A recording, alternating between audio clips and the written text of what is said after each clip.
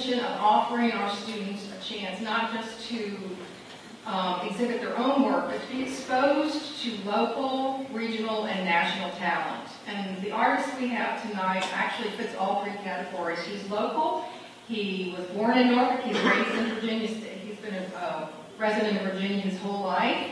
He started his work in the early 20s, not 1920s, his early 20s. Um, and he has just gone gangbusters since then.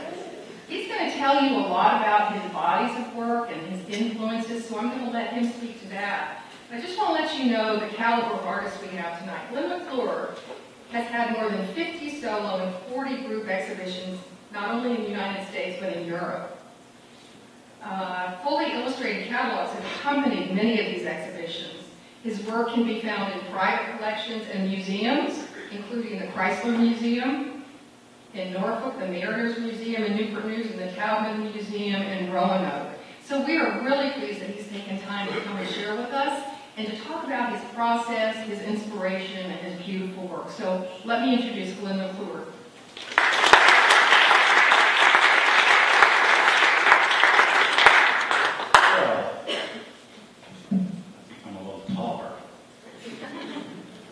Thanks again for coming. I do appreciate. This is a beautiful place, isn't it? I had no idea. This is a lovely auditorium. Um, so I've done a lot of these talks, and, and, some of my friends are in the front, and I, I feel bad for one of them in particular because he's going to hear something that he's heard about 10 times at my talks, but um, when I get to the part about my influences. But um, I decided to do something a little different this for this talk. Um, you know, a lot of times I do like my whole life history and know, I got tired of that. So this year, I wanted to do, to just, uh, this time, I just want to show you the work that I've done this year. And I've done a lot, done a lot of different stuff. And uh, I came up with this snappy title that you see here because I'm always using this phrase, and my friends can attest to it. If you're riding down the road and I'll see beautiful clouds, you know, with the light streaming through, and this is sort of my signature statement. May I draw your attention to the light? You know, and uh, that's what photography is. It's light, you know, and using your eyes to capture it, see it in the first place. So I've been doing it a while. So this was me um, back in 1978, and um, you know I had it going on. Uh,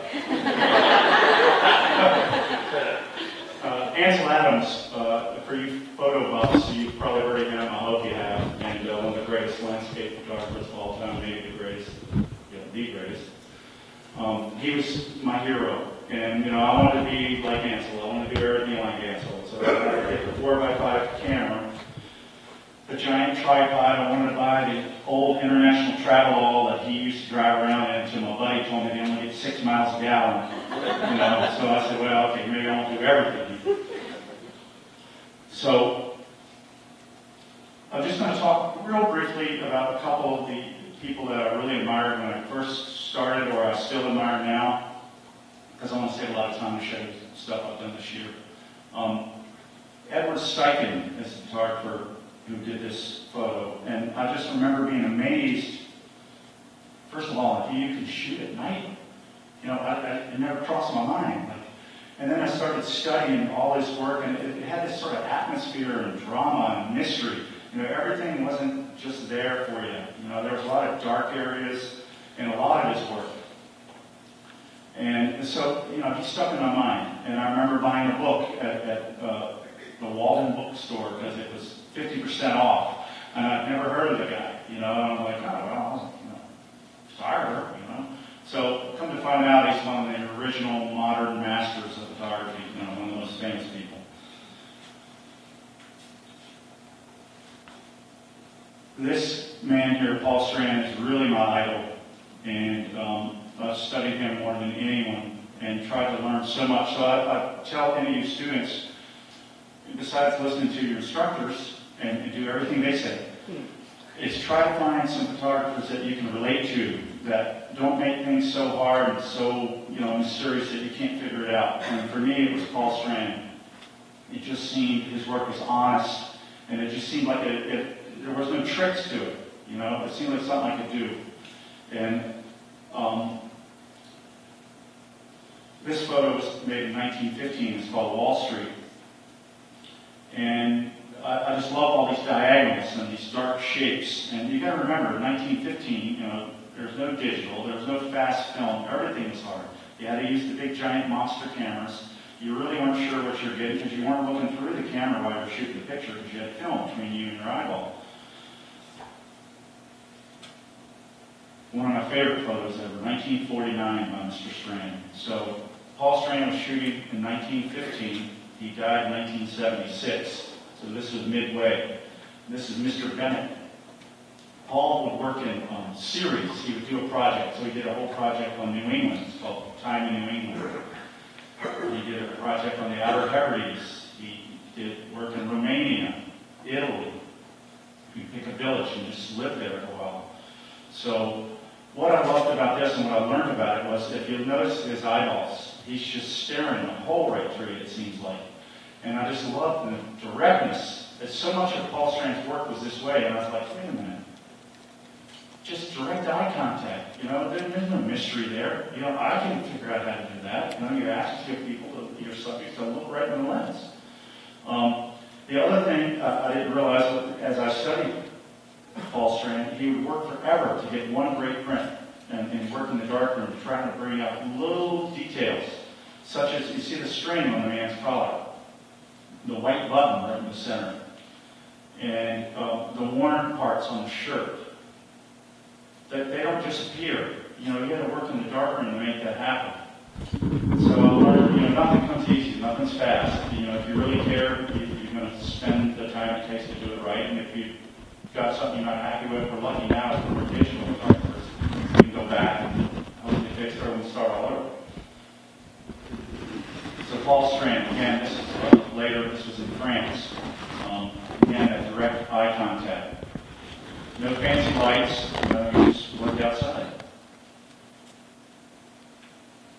And so, we were talking earlier, somebody asked me um, about this guy and how he became one of my influences. I have to admit, I was taking a workshop. I'd never heard of Josef Sudek.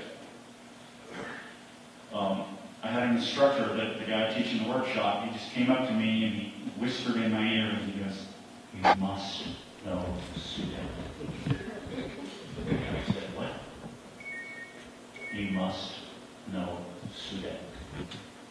So I got a pen, I wrote down Sudek. I'm like, who the hell is Sudek? So I go look, Josef Sudek, the poet of Prague, he was called. He was a one-armed photographer. He did amazing work. He lived in a one-room shack that was a studio in his house. He would photograph just junk on his table and turn it into art. This is his window. Um, he turned into art, you know, the condensation. So I learned, you know, use your eyes. You know, just look around you. There's stuff to photograph. There's art everywhere. It's waiting to be discovered. So Sudek and Strand are the two biggest influences. And, you know, I also love Irving Penn, um, Arnold Newman. Um, when it comes to shooting people, Irving Penn too. Irving did all kinds of stuff. So I just implore you to find people that you know you admire and you can kind of understand, and just try to study them. Look at what they do. You know, even if you're a painter, you know, find some painter that you love. You know, how did they do that? Why did they do that?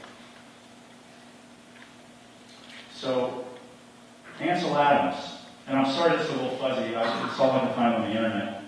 Um, this is really important because people are asking me out here about my prints, you know, like how long does it take? How do you do it? Well, I take forever. This is a contact print done by Ansel Adams, and this is one of, going to be one of the most famous photographs ever made. You know, at this point, you're like, what? So this is the contact print before he did anything to the image. He's developed the negative, and he's put it on a piece of paper and he's shown light through it so he could see what he got. He knew it was going to be amazing. He was excited when he, when he almost wrecked the car to get out and shoot this because the light was about to fade. It's called Moonrise over Hernandez. It's done in 1941. This is what it ended up as. Big difference there, huh? So Ansel Adams said the, the negative was the score and the print was the performance. He was a pianist. He was a concert pianist. So he related everything to music, including the exposure scale uh, that he developed called his own system. So he worked it And then I didn't realize, so I was preparing for this, that he was never quite satisfied that he had the final image that he loved. He was always tinkering with the same image that he did in 1941, and he died in 1984. So I found this, very interesting, thought. Look how he changed it as time went on. And then if you look at that 1975 um, version, and compare it to the one on the top left, 1941, what a difference. And some people had theories that he was losing his eyesight, and it was hard to see, so he made everything ultra contrasty.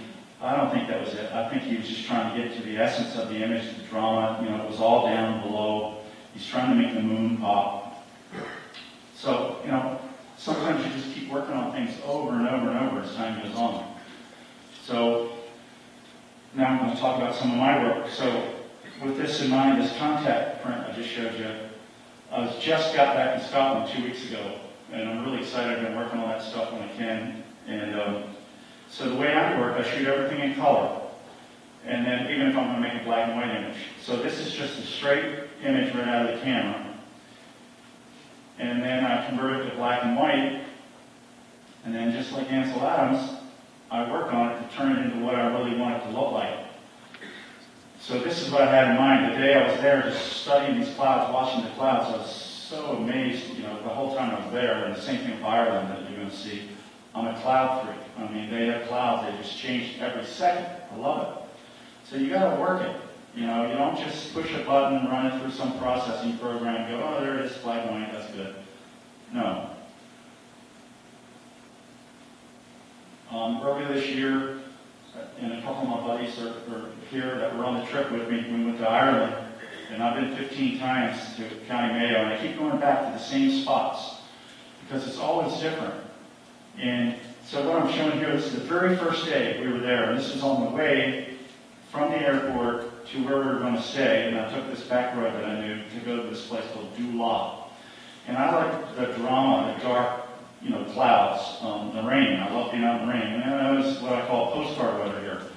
But I made the best of it. This is the same location on the way at the end of the trip back to the airport. This was my kind of sky. So what a difference, you know, just being aware. And I was literally so excited. Um, and Brian can tell you, I parked the car and sprinted down the street with my stuff because I said these clouds aren't going to last. But for half the trip, it was just postcard skies, puffy white clouds, not my kind of thing. So another um, image from the same location. It's called Doolough. It's just a dramatic place. Um, this is a, a, place called Clew Bay, and it's at low tide. And Clew Bay runs, uh, you see it everywhere you go over in County Mayo, um, for miles and miles. And this was literally made right by a, a highway, the N59.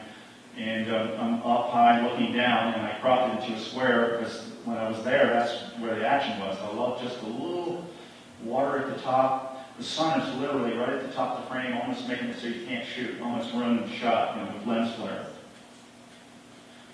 So I don't have any problem um, cropping a shot. Um, um, Paul Strand said, uh, when somebody asked him one time, do you have a statement about your work? He said, my statement's on the wall. You know, so however you got your statement on the wall, you know, whether you, uh, I don't know, you painted it pink or you cropped it or you did 18 exposures, the only thing that matters is what's on the wall. If you like it, and you hope other people like it.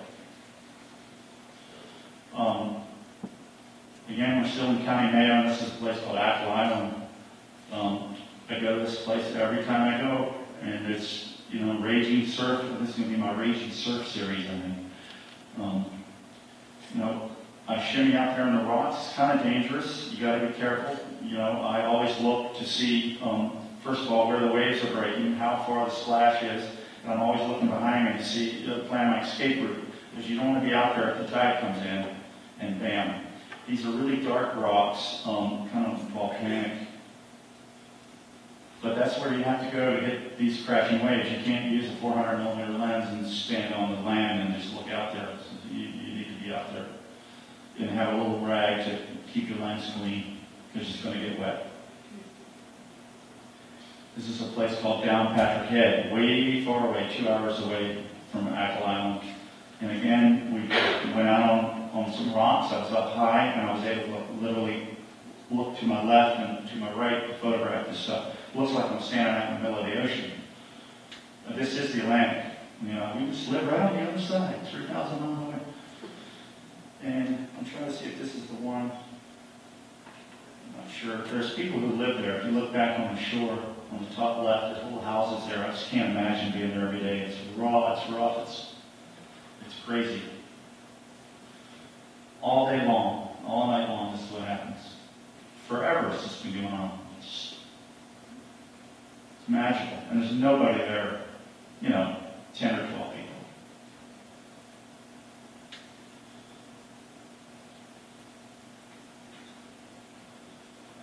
There's, there's the houses. This is the shot on the top left. It Takes a lot of work to make these waves show up. Um, so I work many hours in the darkroom. Um, I love it. I love listening to music. You know, you heard what Sudek said about music. You gotta get in the zone, you gotta get in the right place. This is a place called White Strand, and this, this is Godlight. We've all heard of Godlight. Excuse me. This is just up there for 45 minutes. Usually it comes and it's gone. And uh, we was able to do a lot of different things. This is one where it's really about the sky, so I hardly showed any land. If you look very carefully, you see a little kayak at the bottom. And he was a lucky guy on the day. Same godlight, different park. This is a huge, wide beach called Silver Strand. And a lot of people don't know this exists. You just go down the road until the road gets tiny and tiny and tiny, and then you're there. You know, the road ends. Every once in a while, you gotta stop and you gotta get tea. You gotta get money out of the cash machine. You might want to find the internet cafe, you know. So I love to wander around with my camera and go down all the little alleys and all. And this is in a little town called Newport. And, you know, I could have just done a picture of a house and that would have been fun, but I tried to turn something more, you know, by playing with all these shapes. Like even the very top right, I remember, you know, trying to compose it just so I had a little bit of sky in there, that little triangle.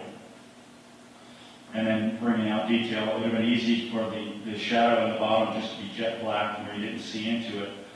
So I worked on that to make sure that didn't happen once I got back.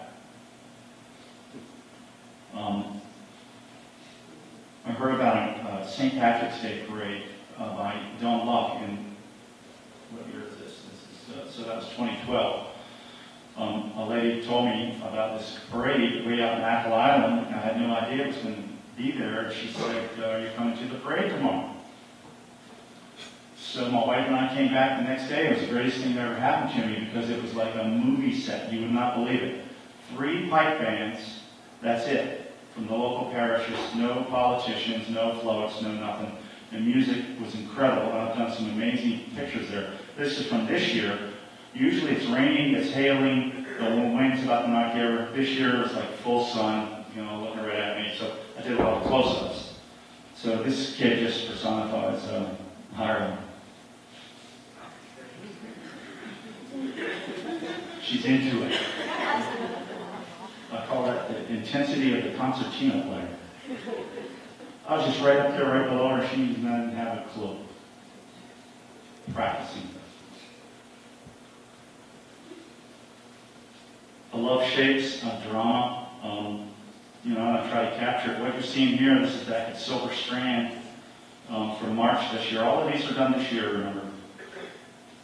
Um, a tide has come over before I was there and washed over the sand and made these interesting patterns in the foreground.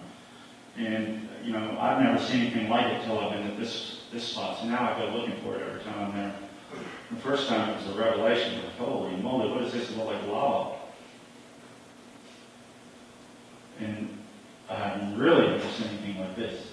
Um, this sand dune, it looked like it was sculpted out of concrete, except the sand is literally moving. Like this one better. I've never seen anything sculpted like that.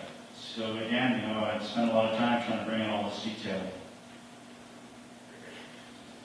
Um, there's another photographer that I love, and I'll tell you guys to look up, if, um, especially if you're in the photo documentary and stuff like that. Guy named Walker Evans.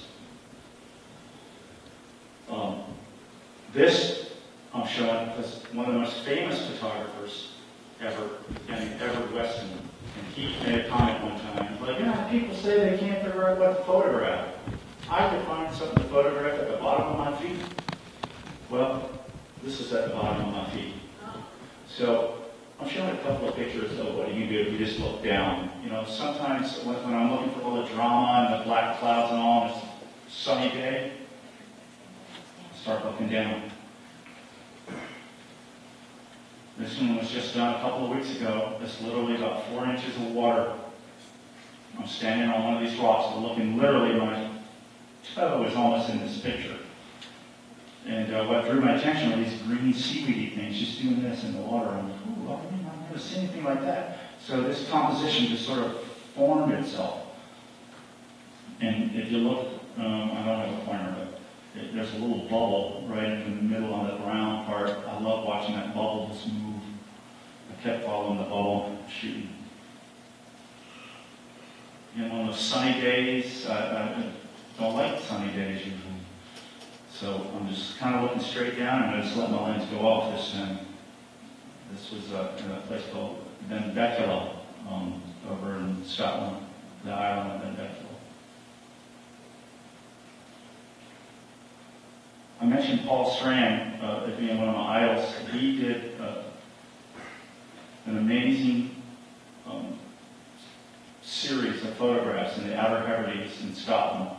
And the Outer Hebrides are, are an, an island chain, and you have to take a ferry out. I don't know how long it took back in his day. He did the work in 1954.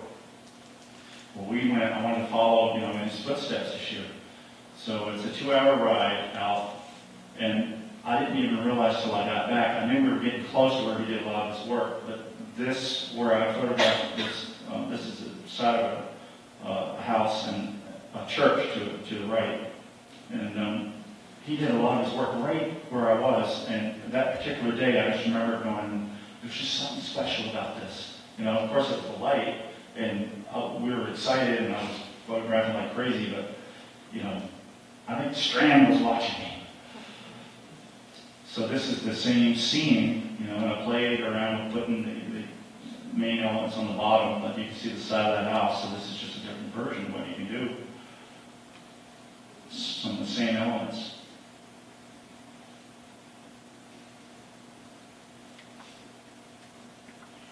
Now the sky, just beautiful, constantly changing clouds, just, I don't know, I was just thrilled to be there. And um, I had to climb over a barbed wire fence to get where this was, because, you know, then you're right on the edge, and, you know, it's windy, so you gotta be careful. And my wife stayed in the car, you know, she, you know, she always makes me leave the keys in case, you know, it's over. So she went back to the airport. She's a nice lady. But, you know, you what you gotta do to get, the shot. Um, love rain. You know, this shot's just all about the rain, so I aim the camera up. And uh, this is really just a desolate landscape. There's not a whole lot there, but I love showing, if you look on the far right, there's a, a cluster of little houses, it gives it scale, and then these fence posts um, in the foreground. You see this a lot. It come, it go, it'd be on top of you, it'd be behind you. It's, you know, I love it. Again, constantly changing skies. And I just love putting little elements in the bottom of the frame sky. And I, I, I can see why they call this place the Isle of Skye, because, you know, the sky is what this place is about. And the light. Sligachan River. Um, we heard about this from a young lady and we kept going back. It's constantly changing. My God, this, these clouds are just whipping by, whipping by. So I shimmied out there, got on some rocks, and got, you know, where I could kind of stand. I was, you know, kind of like one leg up here, tripod here, you know. And uh, I would just experiment with different shutter speeds to play with the water motion. You know, a lot of people nowadays do this really long exposure where the water just gets all blurry. And, you know, that's a technique, I don't like to do that myself, because I like to show the power, you know, and fury, you know, this stuff's whipping by. And, you know, you don't know how, what exposure setting to use, so I'll, I'll experiment, you know, maybe one second, half second, quarter second, and, you know, adjusting as I go along. And then when I get back, I pick the, uh, pick the one image that I think is gonna be the one. This is uh, the very first day we were on the way, and uh, just saw the light, wheeled in, got out. The sky is coming from the right, there's a rainstorm coming. I probably shot 30 exposures, and then the sun was gone. So I just love that shadow in the foreground, the little sun coming right through the tree. And It's actually raining behind the tree over in the far bank. Again, um, you know, just riding around, looking for stuff. And there, coming around the bend, there's this most beautiful horse, just all by itself, right up against the fence. Nobody for anywhere around. And I just went up to talk to him, you know, for, I bet I was there 15 minutes. I kind of felt sorry for him. It was raining. I mean, this is where they live, I know, but I was thinking that could be me, you know? Poor guy. Um, and just every once in a while, I would come and look over at him. So I did all kinds of shots, full lengths, close-ups, but this is, you know, I kind of happy because I already sold a version of that. But if you're a photographer, wouldn't you like to be here to see this light? You know, it's just coming, it's going, it's here, it's there. It's almost overwhelming. You don't know what to do except shoot, then come back and figure out which ones to use. This is that Sligachan River, again, different day. Look how, there's hardly any water there, but look at that sky. I mean, this literally blew my mind. I pulled it, I saw the sky, I saw this rain, and I said, this is not going to last. And it's just like that time in Ireland. I got out of the car, I sprinted over there, and there's a few people there looking at You know, shimmied down the embankment, got right out there, and it lasted for about 10 minutes, um, literally, just lights out, in, out, so you don't know what's happening. You just trying to get a composition shoot, and then you got to come back and you got to interpret it. You know, I call it interpretation. These particular mounts were just so overwhelming. I, I needed some sort of element to set it off, and uh, I found an element, that rock.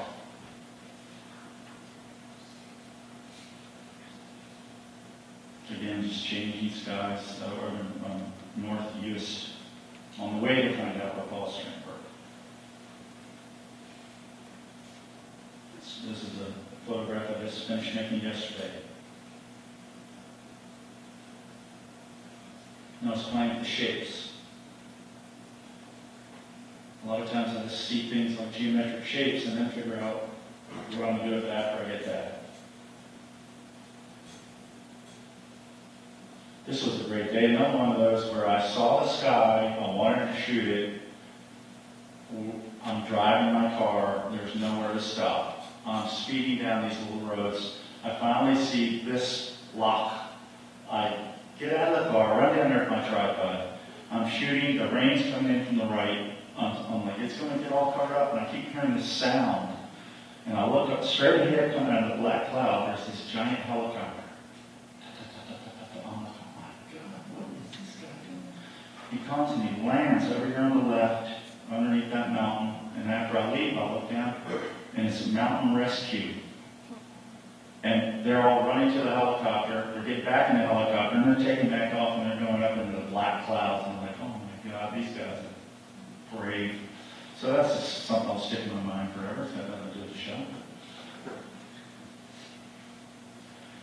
Wait a minute, that's not Scotland. I'm doing this really cool series I started about a year and a half ago now. I, I had this idea that I wanted to photograph people working on the shipyards around here. So we've been pretty much to every shipyard in the region, besides the naval shipyard in um, Portsmouth, they won't let me come. But even Newport News let me come. It's been an amazing experience, and uh, we're still working on it. And uh, my wife goes with me. She interviews these people, and we hope to have an exhibition. And um, the, the um, interviews will be used as captions beside each of these people. So these are amazing hard workers who do all kinds of, you know, dangerous work and, um, I know, I just feel privileged to be, you know, given access to go work with them. And, um, so just to talk about it a little bit, I, I work pretty quick because these are busy people. And, uh, you know, you, you approach them or somebody with me approaches them and says what we're doing or I say what we're doing. And, you know, literally I'm working probably 10 minutes um, at the most with these people. And I'm bringing my lights with me. I have one light I use for each person. It's called softbox. I need photo people. Maybe you remember about those yet. So I'm lighting them from one side to get a little um, directional um, contrast. And then I work, just like the landscapes, I work like crazy in the, uh, the digital dark room back at my studio, trying to bring in all the little details that Paul's trying to taught me. So when I'm doing a series, you know, I'm, I'm, I don't do everybody full length, I don't do everybody close up. It's just what strikes me. Um, this was uh, not too far from here. This guy was over at Davis Boat Works. This was the last shoot we've done so far, and I'm really happy to get there because it took me a year and a half to get permission to get in this place. You just got to get the right people, or you got to wear them down. This was uh, over at Colonna Shipyard in um, Norfolk. These people have been great. I've been there twice. I'm going back again um, between now and November. You know, and uh, I just love playing with the elements. You know, I love it if there happens to be a ship there. That's great. A lot of times you're somewhere where there's nothing there, I'll zoom in on the face. But this is Newport News Shipbuilding. They had a lot of things that I don't see a lot of places like this big monstrosity. These people are really proud too. I mean, a lot of them ask to see their photo and, you know, they're really interested in what we're doing and why we're doing it. I mean, they're, they're proud. You know, it's like the old auto workers in the old days, you know, they're union proud or whatever. They love their job. They, they, they have good living. This lady started in 1972. It's a long time.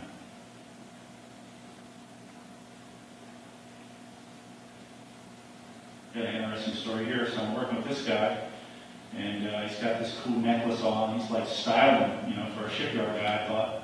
And I said, uh, hey, let me pull your snake uh, necklace out. And he looks at me goes, it's not a snake. It's a dragon. Well, ah, of course, that's his name. He's got his own emblem. This was over at NASSCO, General Dynamics in Norfolk. And it's funny too, a lot of times these guys will show up and I'm like, don't you, do you have any tools, Do you have any stuff that you use? And they'll go, oh yeah, well, what do you mean, like, uh, I don't know, calipers or you know, like, yeah, well, what do you use in your job, you know? Sometimes they'll come back and they got all this stuff, I'm like, yeah, man. So I'm trying to show what they use and what, what they work with. This guy just came prepared, he was just walking by and that's what he had. Um, Love this one. It's a little different. She showed up with big sunglasses on. And I asked her to take them off so I could see her beautiful eyes. And then the other reason was I was going to get a reflection from my light. And, and she wears her hair covering her eyes. So her eyes invisible. The wind kind of caught it and made her eye. And I, that's the one I used.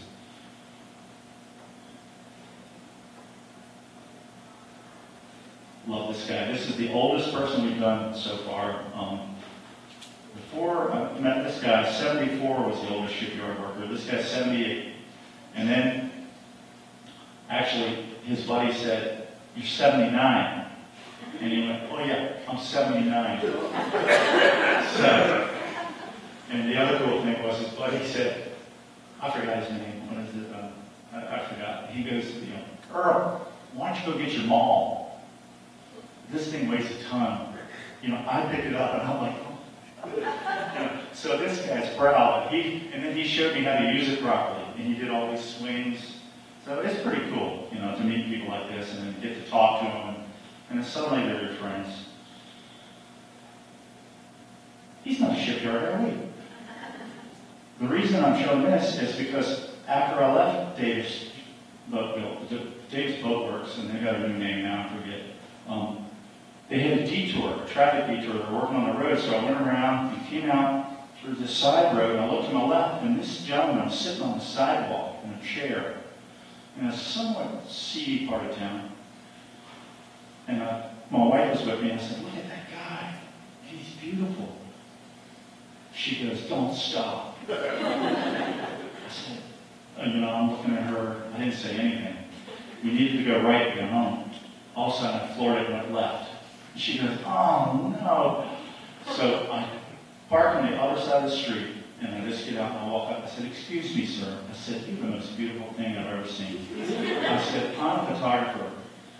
Can I do a portrait of you? Would you mind? He goes, oh, no, I don't mind. He goes, you're the second one this week that's asking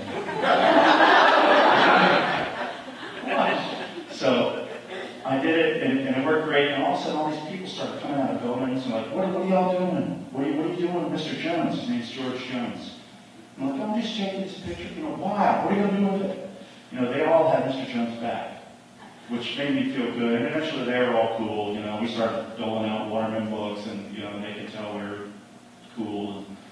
And ended up, um, he's, we gave him our cards and all this stuff, and he sent us the nicest letter. You wouldn't believe it. So I made a framed copy of the print and sent it to him, and also some books that my wife was talking to him about. Um, he's a disciple of this famous preacher, Michaux, I think's his name, that was famous in Newport News back in the old days. And uh, my wife's father had written, he was a historian, and he'd written about this man. And so he sent him the book too. So you got to pay back.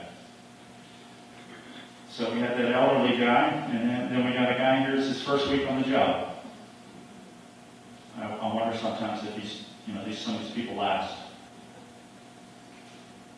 I had a photograph of this guy here. I just love this wood and these shapes. I mean, you just don't see stuff like this. You know, we're lucky as a photographer and artist if you can convince somebody to give you access to places like this. And you know, you, we can't just walk in and shake our hey, just want to look around and see if you got anything cool. No, no, no. But I get to do that. No. Don't ask me how. The rigger over BAE in uh, Norfolk. I just can't imagine carrying around chains all day. I asked her if she gets tired the day, and she goes, I sure enough do. Blacksmith shop over at BAE. Just love those shapes.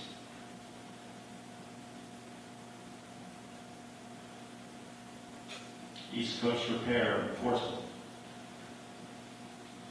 I've done over 300 people so far. I haven't really added them up, but I'm going to do more, so it's just great. I'll just you one quick story. I think we're getting near the end. Um, this this guy, I was filling up my lights, and he had his maul and it must have been five minutes or something, and I look, and the guy's all of a sudden now he's put them all down. I'll give you the word. This is like a new guy from another world, a blaster. He just come out of this building where they're sandblasting, and I just want to show all the, you know, the, moonscape around him. And look carefully at his shoes. I mean, this is something I call looking for visual clues, you know, what, I- what I want to show when I do a portrait of somebody. And this one, to me, was like, as soon as I saw the shoes, like, oh, I gotta go all the way to this guy.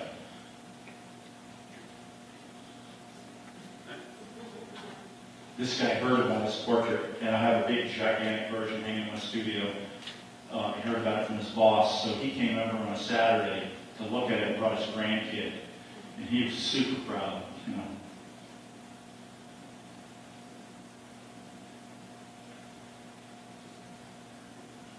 I'll just leave it with that statement.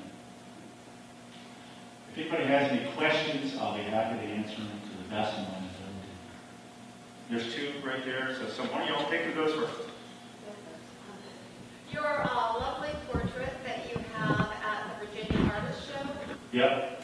how did you do that? What did you take it with? How did you blow it up so large, maintaining the detail and not have having grainess? Yeah.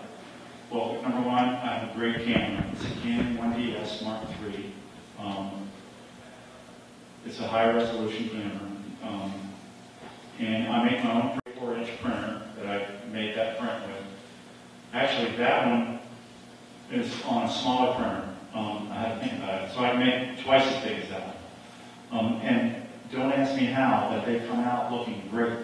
I mean, I put them in Lightroom, I work there first, then I go in Photoshop and I work forever. And just modern technology is like amazing. I mean, I- we made the first test print when I got my giant printer, and it came out, and the, the guy working with me, Eric, we looked at each other like, how did you do that? I said, I don't know. It just looks great.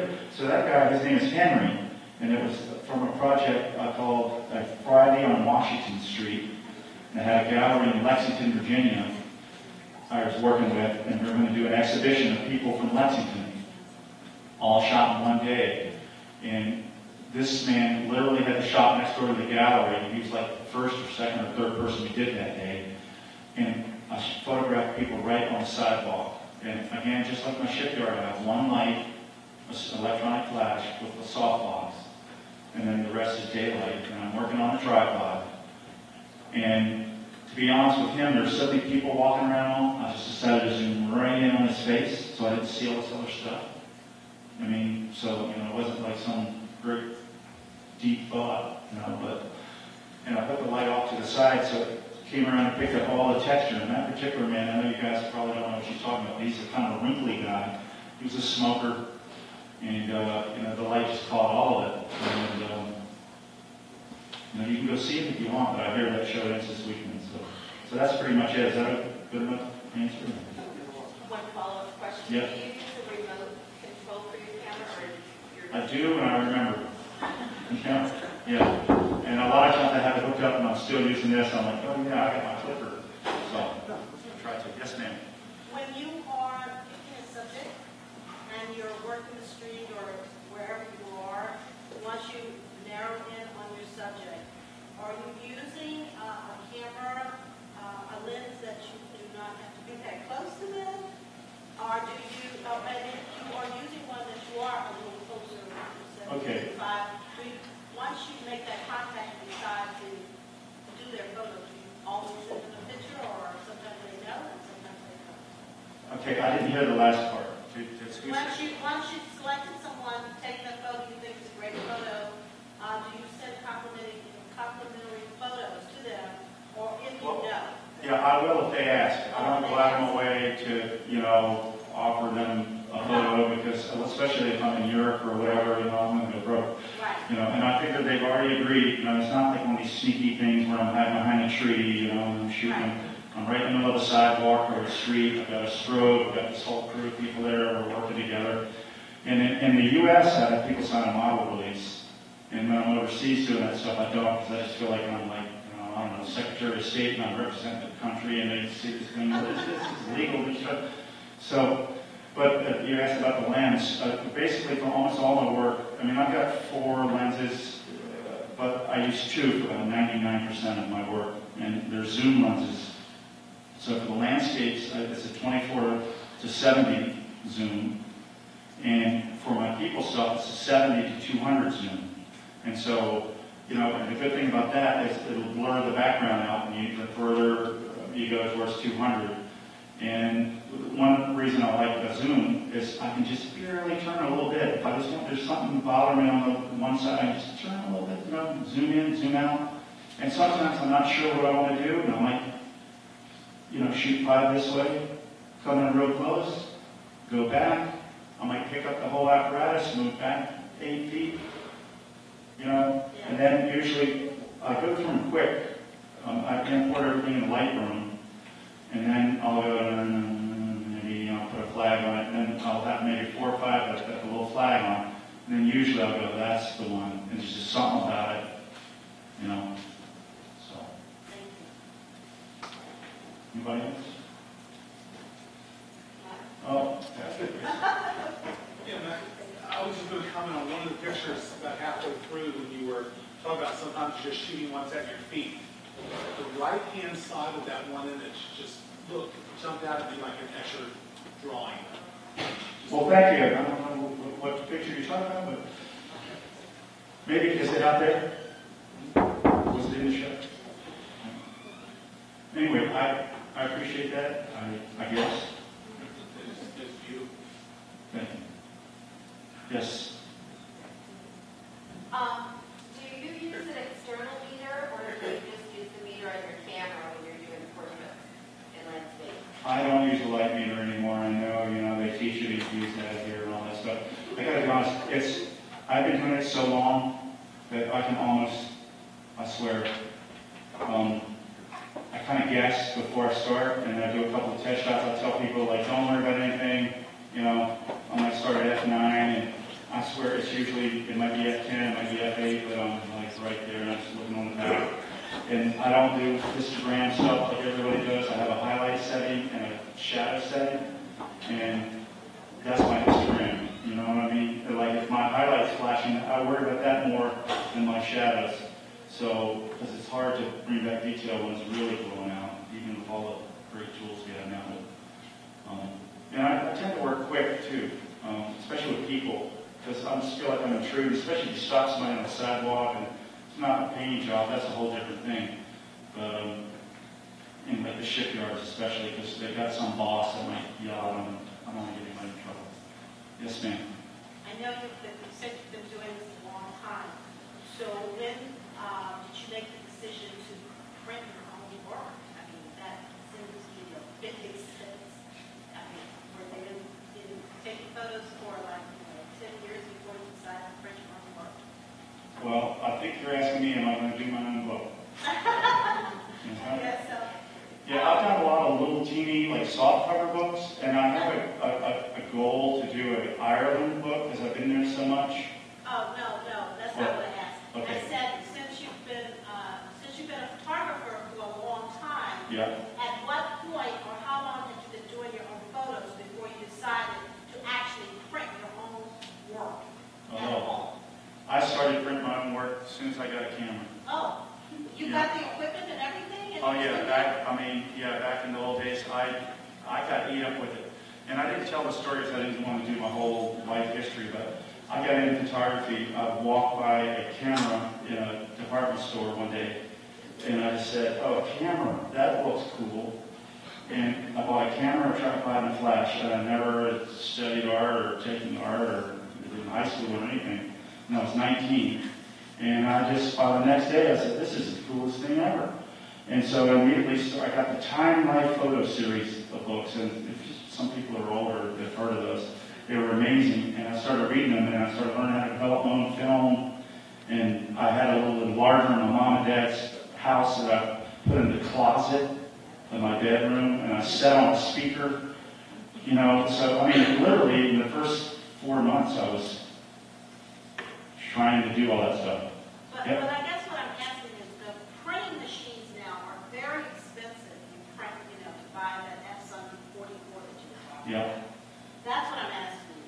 When did you decide to invest in that type of stuff? Oh. Well, when I went digital, Oh, Um, I don't have a dark room, and, you know, I mean, if you're gonna have an exhibition, you gotta have something to put on the wall. And I, I'm from the school, you, if you don't make the print, it's almost like you can't really say it's yours. I know a lot of people have prints made everywhere, but I wanna be in control of it. And, you know, if you came and you saw like some of these prints there, you'd see a stack, you know, duds. I wanna make my own prints. I mean, it's just like from starting in the closet, you know, all these years later. And the reason I got the big giant print, my buddy who was here earlier, he's gone now, it's his fault. Because he told me that there was thousand dollars off on the giant printer for the next month. And I had an exhibition and, and these people had five hundred dollars to put towards making a giant print. So I said, wait a minute, five hundred bucks, thousand off, it's time to get it. So that's why I got the 44 inch printer. And then I'll tell you how smart I am. I got the printer. We did the test print with Eric, my buddy. It came out, and I went, "Where am I going to put it?"